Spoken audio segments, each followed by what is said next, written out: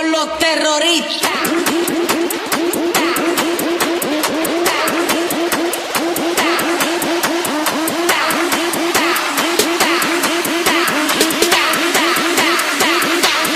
Do the Harlem Shake.